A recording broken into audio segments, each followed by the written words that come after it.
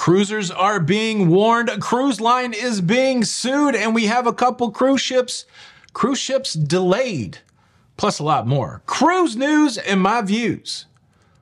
Let's talk about it.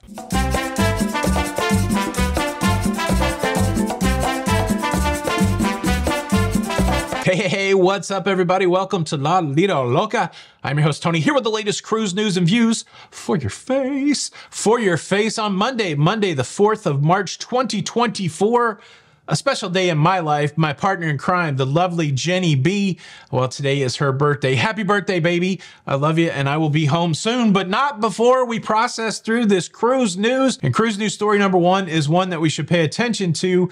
I got an email from a viewer who had recently cruised on the Celebrity Ascent, and they sent me a copy of an email that they received from Celebrity Cruise Line alerting them, warning them about the potential of Legionella. The email says that back in January, the CDC was notified that two passengers had tested positive for the respiratory disease Legionella, and that uh, you know the onus was on Celebrity Cruise Line to notify passengers on the ascent going forward that th- this had occurred. Now, Legionella is not one of those diseases that passes from person to person.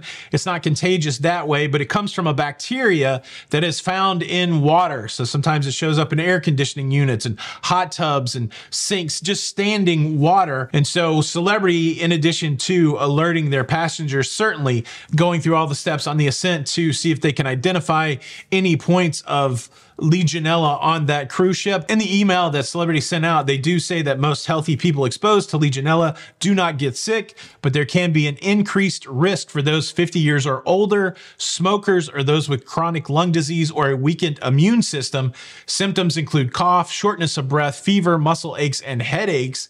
And they're saying that if you've experienced these symptoms within 14 days of your cruise, that you want to seek medical attention and to show the letter that's been emailed out by Celebrity to your doctor just so they know. So I share it. Uh, I know not everybody's recently been on the celebrity ascent, but maybe some have. Make sure you check your email and uh, really just to raise awareness that sometimes this happens on cruise ships. Cruise news story number two's got a little bit of that deja vu feeling. Feels like a story that we've heard before. There's a company out there that's proposing a three year world cruise. And uh, when they proposed it, they had not yet procured a cruise ship. And we heard this story before with Life at Sea, and it turned out horrible. They never got a cruise ship. I don't know if people people still may be stranded in Istanbul trying to get back home, but uh, this is a new endeavor. And well, the news that I'm bringing to you today is that that new three year endeavor is that three fingers? That's, that's six altogether, I guess. The new three year endeavor by the company named Villa Vie.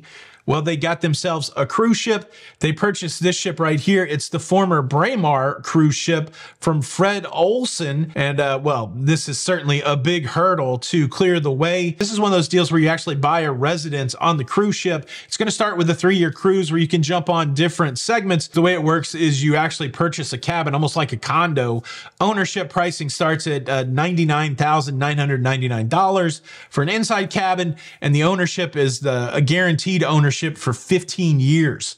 Uh, but there's also pay as you go. So it's kind of like a mixed bag. It's like going to Westgate. You got people that don't own the timeshare that can go there, pay a weekly fee, and then you got people that own the timeshare, I guess. Uh, anybody ever get into these timeshare things? I just remember there was a time in my life where I didn't have a lot of money and I went to Orlando and somebody told me that, look, you could go to these timeshare things and you could get free park tickets. And I did that one time and, and I came away from that experience with park tickets uh, almost in a fisticuff and convinced that if uh, Dante would have kept writing, that the timeshare presentation uh, exiting would be the the tenth level of hell. That's that's what I think. But look. Uh, you, you got to do what you got to do to get into the theme park. If you own a timeshare, God bless you, but I don't know how you got through that. Did they break you down? Did they break you down? I saw a video the other day that said, as uh, my generation, Gen X, and the boomers and everybody, as we start to phase out, so will timeshare ownership. I don't know. Is there any 20 year olds out there that own a timeshare? And uh, certainly, I like this idea of owning a permanent residency on a cruise ship. I kind of like to play the field a little bit. I don't think I'd like to be locked into a single cruise ship, but I, I know for some, that might be a good financial investment, uh, maybe even cheaper than you know retiring at a retirement facility or something like that. So, uh, yeah, good news for this next three-year cruise being put on by Villa Vie. At least they have a cruise ship. How about that? Cruise news story number three. Let's talk about a world cruise right now, the MSC Poesia. The Poesia impacted like many other cruise ships we talked about over the last few weeks. Originally, they were supposed to go through the Red Sea. They were supposed to transit the Suez Canal. This was part of the itinerary. And like so many other itineraries, we've seen this change because of the volatility in the Red Sea. And like we've seen on many other cruise ships, a lot of the passengers, or enough of the passengers, a vocal amount of the passengers are unhappy about the change. And so now MSC, the captain on board the Poesia, they've listed out all of the hoops they had to jump through to even make sure that this world cruise wasn't canceled, trying to explain to people, disgruntled people, this is why we had to change and go down the coast of Africa just to keep you safe from missile strikes to your face. That seems like that would be enough of an explanation. But also in a gesture of goodwill, they're giving everybody back like 10% of their cruise fare, I think up to 500 euros. And so they're trying to throw a little compensation. They're trying to give a big explanation. And again, look, I understand, you know, and I would probably feel a way if I'd paid a lot of money for a world cruise that I had a high level of anticipation for the stops on that world cruise and it got changed, you know, and, you know, and of course they communicated all these changes prior to the cruise. And I think they gave people options there but um, it continues to be like a PR nightmare for these companies. The fact that they have to change because of the challenges in the in the Red Sea. I'm not trying to be a fanboy for the cruise companies, but I do. I am a fanboy for personal responsibility, and so I'll keep beating that drum. That anytime you book a cruise, there is a chance that that cruise could change. Your itinerary is not set in stone, and sometimes things happen. Weather, mechanical difficulties you know, missile attacks that could change, you know, the ability to go on the uh, predetermined or the first set out itinerary. Not that you shouldn't be upset, not that you shouldn't have a voice about it, but again, at the same time, you know, the missile attacks, you, you obviously don't want to sail through the Red Sea. So, uh, but squeaky wheel, getting some grease, getting some compensation, and getting an explanation. Uh, good on MSC for trying to do something. I guess they could have just said uh, tough you know, you signed the contract. So it's nice that they're doing something. Cruising story number four. Sometimes we talk about the proliferation of the mega ship in the worldwide cruising fleet that we're seeing more and more mega ships built and less and less medium and small size cruise ships built. And uh, well, that continues to be true. And so what we see when it comes to medium and small cruise ships is we see a lot of announcements about dry docks. And we've got that going on right now. We've got the Navigator of the Seas leaving the west coast of California, Royal Caribbean ship Navigator of the Seas, going to Asia for a routine dry dock. This 3,100 passenger vessel was built in 2002 like I said, a routine dry dock. They're going to work on some technical things and then they're going to work on improving some of the public areas.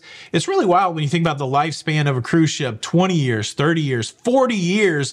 You know, if they can keep putting, you know, improvements and, and keep, you know, fixing the thing up, they're going to keep this thing in service for a long period of time. And right now, it does seem like when it comes to small and medium ships, that's what cruise companies are uh, you know, endeavoring to do, just keep them running for long periods of time, keep them in service. It'll be interesting though to see as these phase out if they'll be replaced with bigger ships or if we're going to get something like a 3100 size passenger cruise ship from Royal. I know they've talked in some of their earnings uh, about thinking about medium to small ships, but uh, so far, we haven't heard any plans of anything smaller than like an Oasis class cruise ship. I probably asked the question before. What do you like? Small, medium, large, mega, mega rega?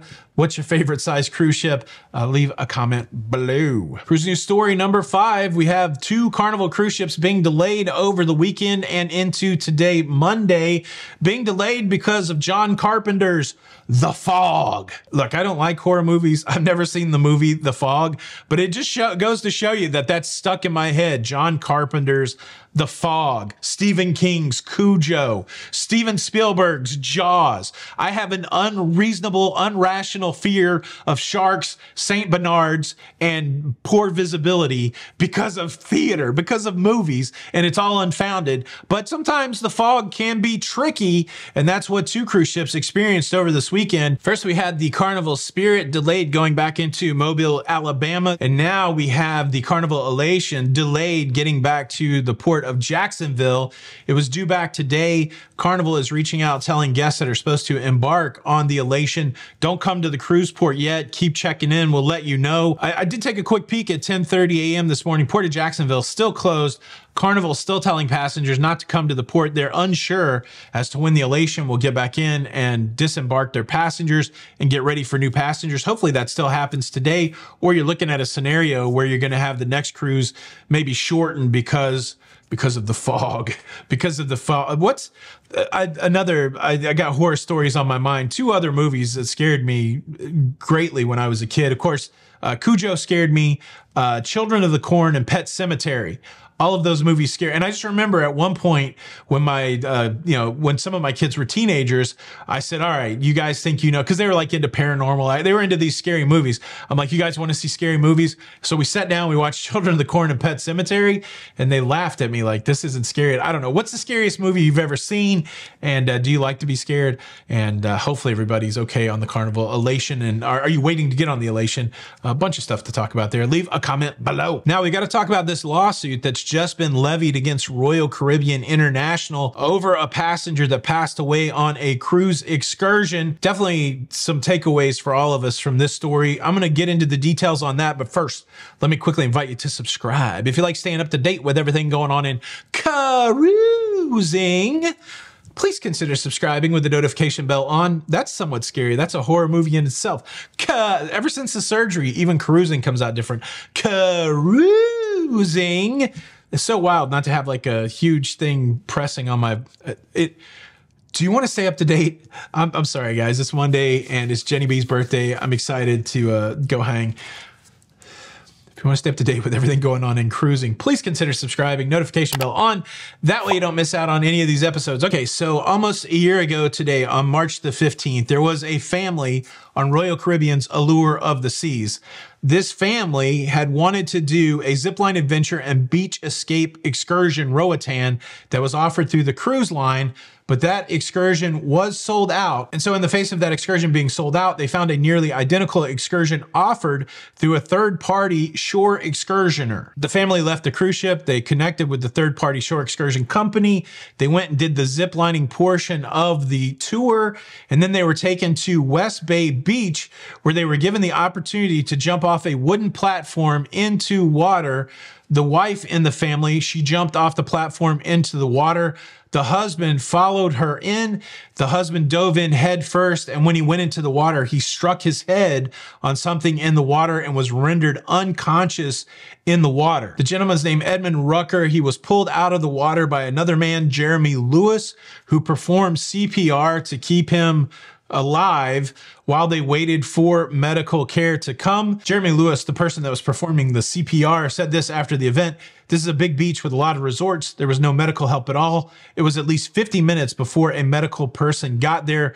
There was no way to keep him alive that long. And so fast forward to today, the family is suing Royal Caribbean International because they're saying that Royal did not make them aware of a strike that was going on on the island, that uh, strike within the healthcare professionals.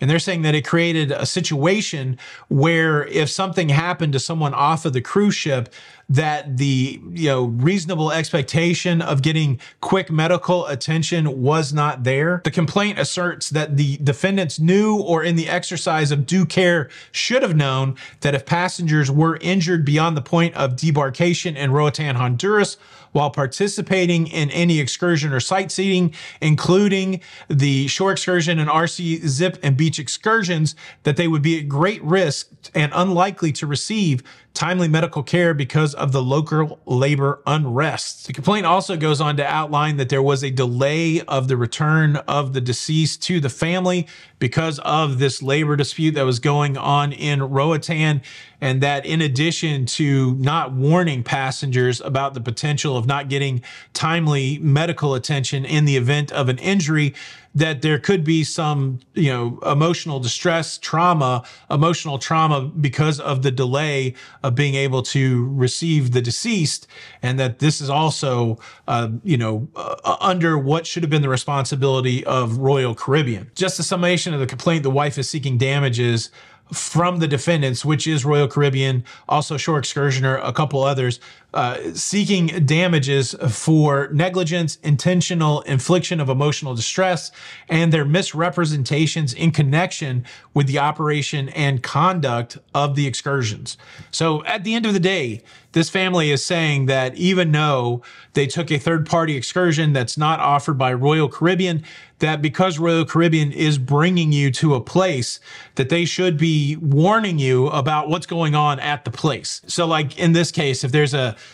you know, labor dispute that's impacting medical care in Roatan that Royal Caribbean has an obligation to warn you about that. This is going to be an interesting case to see how this plays out. How far does the cruise line's responsibility extend for you once you leave the cruise ship? If you're not on one of their excursions and you're just doing something at a place that they brought you to, how far does their responsibility extend? I think this will be a case that will highlight uh, what that responsibility is. Uh, we'll have to wait and see what happens. Boom, that's your cruise news. Hope you enjoyed it. Hit that like button. Tony for La Lido Loca. Until the next time, we'll see you on the Lido. Bye. Cruise.